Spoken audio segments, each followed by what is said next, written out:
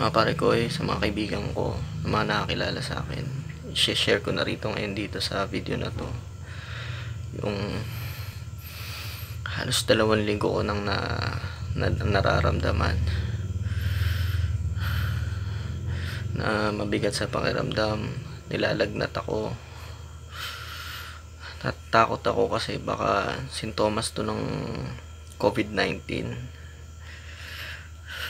eh naalala ko yung mga kasama ko sa bahay meron pa akong sanggol yung anak ko. Mabigat sa pakiramdam. Hindi ko alam yung gagawin ko. Kung dapat ba akong pumunta ng ospital na o hindi manatili lang muna rito sa bahay. Kasi sa ospital alam ko marami rin talagang namamatay na papabayaan na halos di na rin masikaso.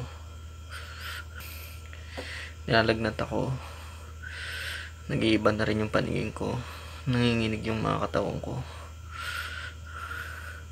Masakit yung tiyan ko. Hindi ko na alam yung gagawin.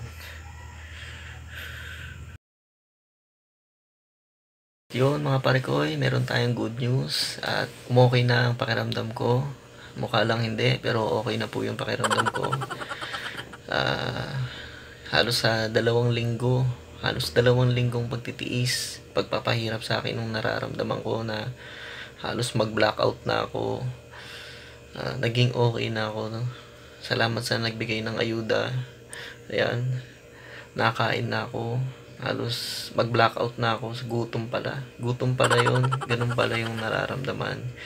Uh, nakatanggap din ng ayuda, ng relief goods. Maraming salamat po. Kala ko po kasi COVID-19 na. Natakot po ako.